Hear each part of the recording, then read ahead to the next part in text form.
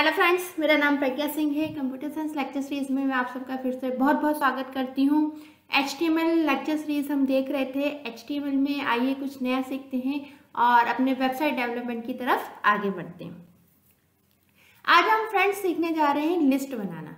यदि आपको अपने वेब पेज पे कोई लिस्ट बनानी हो तो कैसे बना सकते हैं? फॉर एग्ज़ाम्पल यहाँ पे देखिए, मैंने एक फ्लावर्स की लिस्ट बना रखी है। इसमें तीन फ्लावर हैं रोज लोटस एंड सनफ्लावर ये लिस्ट बना रखी है। जब भी हम बेसिकली कोई लिस्ट बनाते हैं तो लिस्ट में कोई ना कोई नंबर देते हैं, ठीक है? जैसे कि फॉर एग्ज़ाम्पल मैं आपको दिखा देती हूँ यहाँ पे। जैसे मैंने तीन फ्लावर्स लिए हैं रोज से लोटस एंड सनफ्लावर तीन फ्लावर्स लिए हैं। इसमें दो तरीके की मैं लिस्ट बना सकती हूँ। एक लिस्ट तो मैं इस तरीके से बना सकती हूँ, जिसमें मैं वन टू थ्री या फिर वन टू थ्री की जगह यहाँ पे मैं ए बी सी डी इस तरीके से कई, कोई भी ऑप्शन दे सकती हूँ। ठीक है? एक तो लिस्ट में इस तरीके से बना सकती हूँ, इसमें मैं प्रॉपर कोई भी सीरीज़ लिख सकती हूँ अपने मतलब लिस्ट में जो भी नेम है उनके आगे से रोज लोटस सनफ्लावर है, इनके पहले में वन टू थ्री लिख दूँगी, या रोमन लेटर्स में वन टू थ्री फोर लिख सकती हूँ, या ए बी सी डी ठीक है? इस तरीके से लिख सकती हूँ। तो इस तरीके की लिस्ट मेरी कहलाती है ऑर्डर लिस्ट जिसको मैंने प्रॉपर ऑर्डर में लिखा हुआ, यानी सीरीज़ लगाकर लिखा हुआ ठीक है? सीरीज़ कोई सी भी हो सकती है ए बी सी डी की या वन टू थ्री फोर की या अदर कोई सी भी। दूसरी प्रकार की लिस्ट होती है अनऑर्डर लिस्ट। अनऑर्डर लिस्ट में कौन सी होती है? अनऑर्डर लिस्ट होती है इसमें कि कोई सीरीज़ नहीं लिखी होती, कोई चिन्ह बने होते हैं। फॉर एग्ज़ाम्पल यहाँ पे देखिए, जैसे कि ये। ये क्या है? बुलेट के साइन है। तो सपोज़ बुलेट के साइन हो गए या अन्य कोई सा भी सपोज़ ये सर्कल का साइन हो गया। इस तरीके से कोई भी साइन यदि आपको दिख रहे हैं तो इस तरीके की लिस्ट कहलाती है अनऑर्डर लिस्ट। तो दो प्रकार की लिस्ट हमारे एच में यूज़ होती है। एक बनती है ऑर्डर लिस्ट और एक बनती है अनऑर्डर लिस्ट तो आइए देखते हैं किस तरीके से ये ऑर्डर एंड अनऑर्डर लिस्ट बनती है। ठीक है तो ऑर्डर एंड अनऑर्डर लिस्ट देखने के लिए हमको अपने नोटपैड पे आना होगा। आप जो भी एडिटर यूज़ करें नोटपैड प्लस प्लस या नोटपैड आप उस पर आइए।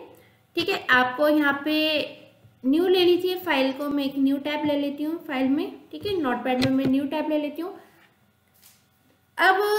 सबसे पहले आप जानती हैं एच में जो फॉर्मेटिंग होती है, वो तो आपको लिखनी पड़ती है और मैं आपको बता चुकी हूँ कि मैंने एक फॉर्मेटिंग टेक्स्ट नाम का नोट पैड है, इसमें मैंने अपनी जो भी एच की फॉर्मेटिंग है, वो पहले से लिख के रखी हुई है। तो क्यों ना मैं इसको फटाफट कंट्रोल सी के द्वारा कॉपी करती हूँ और अपने न्यू नोट पैड में पेस्ट कर देती हूँ ताकि मेरा काम फटाफट हो जाए, ठीक है? सबसे पहली फॉर्मेलिटी टाइटल है तो मैं टाइटल लिख देती हूँ। टाइटल में मैं यहाँ पे लिस्ट लिख देती हूँ।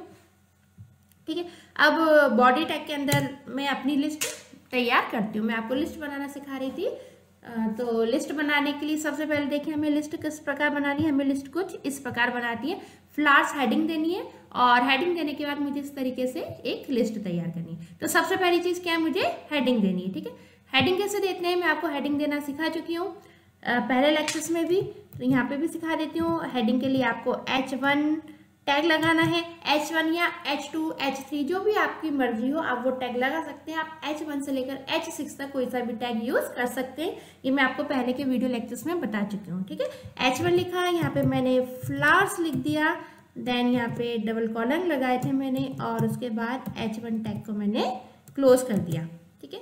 अब मैं इसको सेव कर देती हूँ। सेव करने के बाद सेव करती हूँ। हाँ इधर मुझे नेम देना होगा। नेम में list dot H T M L नाम दे देती हूँ और सेव एस टाइप में मैं यहाँ पे ऑल टाइप कर देती हूँ। ठीक है आपके सिस्टम में हो सकता है ऑल फ़ाइल भी ऑप्शन आ सकता है। तो ऑल फ़ाइल या ऑल टाइप आप करके और सेव कर दीजिए जैसे मैंने अभी कर दिया। ठीक है अब मैं सबसे पहले इसका आउटपुट देख लेती हूँ। आउटपुट तो हम देखते हुए चलते हैं सबका। आ, ये मुझे अभी पुराना आउटपुट दिखा रहा है। सेम उसी तरीके से आउटपुट देखते हैं। मैंने जैसे कि आपको देखना सिखाया था एक इंडेक्स के द्वारा। ठीक है, आप इसमें जो भी आपने फोल्डर बनाया एच प्रोग्राम का, सिर्फ़ और सिर्फ़ वहाँ के नाम तक आप इसको सिलेक्ट करना तो इस तरीके से आपको पूरा इंडेक्स दिख जाएगा। और इंडेक्स में मैंने किस नाम से बनाया? लिस्ट डॉट एच मुझे अभी यहाँ पे नहीं दिख रहा है। हाँ दिख रहा है ये दिख गया लिस्ट एच नाम से मुझे यहाँ पे दिख गया। मैं इस पर राइट क्लिक करती हूँ और ओपन इन न्यू टैप करती हूँ। तो यहाँ पे देखिए मुझे आउटपुट दिख रहा है। यहाँ पे सिर्फ़ और सिर्फ़ क्या लिखा हुआ दिख रहा है अभी मुझे? फ्लावर्स क्योंकि बॉडी टैग के अंदर मैंने हेडिंग की लिखी है फ्लावर्स ठीक है? अब यदि मैं चाहती हूँ कि इसमें अंडरलाइन भी आ जाए तो मैं यहाँ पे लगाती हूँ यू टैग और यू टैग को फ्लावर्स के बाद में क्लोज कर देती हूँ। आपको मैं टैग स्टार्टिंग एंड क्लोजिंग करना बताया था कि जिस क्रम में हम टैग यूज़ करते हैं, उसके उल्टे क्रम में हम इनको बंद करते हुए चलते हैं। तो एच वन टैग मैंने पहले यूज़ किया था, फिर यू टैग यूज़ किया था तो बंद किया तो उल्टे क्रम में यानी यू को पहले बंद किया देन एच वन को क्लोज किया मैंने, ठीक है? और मैं इसको कंट्रोल एस की सहायता से सेव कर देती हूँ। और क्यों ना बेटर है कि मैं इसको मैं मिनिमाइज कर देती हूँ, ताकि मुझे प्रॉपर आउटपुट साथ साथ दिखते चले जाए सारे। ये देखिए फ्लास्क के नीचे अंडरलाइन आ चुकी है, जैसे मैंने रिफ्रेश किया है। अब चलिए मैं लिस्ट बनाना आपको सिखाती हूँ। लिस्ट बनाने के लिए सबसे पहले आपको ये फाइंड आउट करना पड़ेगा आपको कौन सी लिस्ट बनानी है। आपको ऑर्डर लिस्ट बनानी है या अनऑर्डर लिस्ट बनानी ठीक है? तो मैंने आपको दोनों के प्रकार बता दिए कि ऑर्डर लिस्ट कैसी होती है और अनऑर्डर लिस्ट कैसी होती है। तो सबसे पहले हम बनाना चाहते हैं ऑर्डर लिस्ट ठीक है? तो ऑर्डर लिस्ट बनाने के लिए सबसे पहले आपको टैग लिखना होता है ओ एल आपको एंगुलर ब्रैकेट के अंदर क्या लिखना होगा? ओ एल ठीक है? ओ एल के बाद फिर आप नेक्स्ट लाइन पर आइए और नेक्स्ट लाइन पे आने के बाद अब लिखिए आप एल आई मैं आपको पहले ही बता चुकी हूँ टैग कोई ज़रूरी नहीं होता एच में कि आप नेक्स्ट लाइन में लिखो। आप सेम लाइन में भी लिख सकते हो, लेकिन सेम लाइन में लिखोगे तो खिचड़ी बन जाएगी। इसलिए मैं नेक्स्ट लाइन में आई, ठीक है? देखिए जब भी आप कोई लिस्ट बनाती हूँ, सबसे पहले आपको बताना होता है कि आपको किस प्रकार की लिस्ट बनानी तो मैं अभी कौन सी लिस्ट बनाना चाहती हूँ? ऑर्डर लिस्ट जिसमें मेरे यहाँ तो वन टू थ्री फोर हो या ए बी सी डी हो इस तरीके से। तो सबसे पहले तो मैंने क्या लिख दिया इसको? ओ एल यानी ये इंडिकेशन दे दिया कि मैं तुम वेब पेज में एक ऑर्डर लिस्ट बनाने जा रही हूँ, ठीक है? ऑर्डर लिस्ट बनाने के बाद अब जितनी भी लिस्ट हैं, जैसे कि आपने देखा था यहाँ पे, ये तो आपने बता दिया कि ऑर्डर लिस्ट बनाने जा रही हूँ। अब जैसे कि मैंने आपको यहाँ पे दिखाया था कि रोज, लोटस, सनफ्लावर, ये लिस्ट बनने जा रही है। तो जितनी भी लिस्ट में जितने भी आइटम होंगे, यानी जितनी भी चीज़ें होंगी आप इंक्लूड करोगे, वो सारी की सारी चीज़ें आएँगी एल आई टैग के अंदर। जैसे रोज से रोज आएगा एल आई टैग के अंदर, लोटस भी एल आई में आएगा, सनफ्लावर भी एल आई में आएगा, ठीक है? मैं लिखकर बताती हूँ कैसे आएगा। तो सबसे पहले देखिए इनपुट में ओ एल तो आपने बता दिया कि हम एक ऑर्डर लिस्ट बनाने जा रहे हैं। अब लिस्ट के अंदर क्या क्या आइटम है? तो लिस्ट के अंदर जो भी आइटम है वो एल आई के अंदर कवर होंगे। तो सबसे पहले एल आई टैग लिखा आपने। एल आई टैग के बाद अब आपको क्या लिखना है? आपको लिखना है सपोज़ यहाँ पे रोज देन आपने एल आई टैग को क्लोज कर दिया। ठीक है? इसका मतलब क्या हुआ? इसका मतलब ये हुआ कि रोज लिस्ट का मतलब लिस्ट का पहला आइटम हमने लिख दिया है, वो क्या है? रोज है अब जैसे हम सेकंड आइटम लिखने जाएँगे तो हमको क्या लगाना होगा? फिर से एल आई टैग लगाना होगा, ठीक है?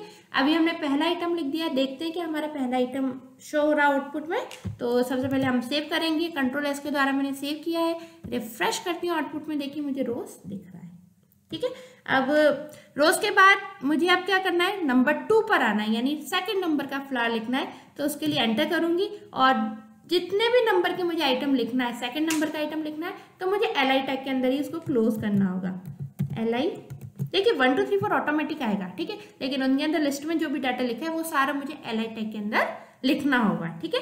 तो एल आई टैग लगाया मैंने, और एल आई टैग के बाद मैंने सेकेंड फ्लावर का नाम लिख दिया, और एल आई टैग को मैंने क्लोज कर दिया। ठीक है? सेव करके देखती हूँ और यहाँ पे रिफ्रेश करके देखती हूँ कि आपको आंसर दिख रहा है, बिल्कुल दिख रहा है आपको लोटस दिख रहा है, ठीक है? सेम इसी तरीके से नेक्स्ट लिखना है तो मैंने एल आई टैग लगाया।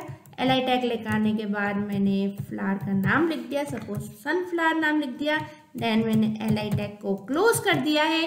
और अब मैं इसको सेव करती हूँ, और सेव करने के बाद रिफ्रेश करती हूँ तो देखिए मुझे थर्ड नंबर की लिस्ट मिल चुकी है। सॉरी मतलब थर्ड नंबर का अपनी लिस्ट का आइटम मिल चुका है। दैट इज़ अ सनफ्लावर ठीक है?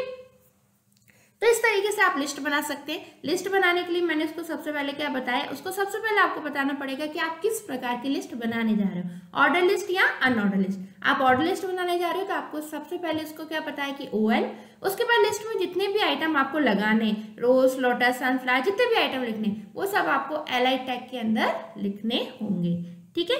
नाउ अब लिस्ट आपकी कंप्लीट है, अब आपको इसके बाद सपोज़ कुछ भी नहीं लिखना, कोई भी लिस्ट में कोई भी आइटम कोई भी मेंबर इंक्लूड नहीं करना है तो आप अपनी ऑर्डर लिस्ट को क्लोज कर दीजिए, ठीक है? Slash O L slash O L के द्वारा आपने अपनी ऑर्डर लिस्ट क्लोज कर दी। इस तरीके से आप ऑर्डर लिस्ट अपनी बना सकते हैं, ठीक है? आपको स्लैश ओएल बंद करने से आपको आउटपुट में कुछ चेंजेस नहीं मिलेंगे, लेकिन ये एक स्टैंडर्ड है जिसके द्वारा आपने ओ लिस्ट को चालू किया है तो ओएल को आपको क्लोज भी करना होगा, ठीक है? तो आपको देखिए इस तरीके से कंप्लीट आउटपुट दिख रहा है। सेम जिस तरीके से आपने ये ऑर्डर लिस्ट बनाई है, ऐसे ही आप अनऑर्डर लिस्ट भी बना सकते हैं, ठीक है? अनऑर्डर लिस्ट के लिए आपको कुछ विशेष काम नहीं करना है। अनऑर्डर लिस्ट के लिए आपको जहाँ आपने ओ एल लिखा था, उसके बदले आपको क्या लिख देना यू ठीक है? तो देखिए मैं यहाँ पे आपको लिख के बता देती हूँ, ये ओ एल लिखा है, इसकी जगह मैंने यहाँ पे कर दिया यू और यहाँ पे मैंने ओ एल क्लोज किया है, यहाँ पे भी मैं यू एल को क्लोज कर देती हूँ और अपना प्रोग्राम सेव करती हूँ और आप आउटपुट देखिएगा ध्यान से वन टू थ्री फोर जो है वो आपके अनऑर्डर लिस्ट में यानी बुलेट्स में चेंज हो जाएँगे। है चेंज हो चुके हैं।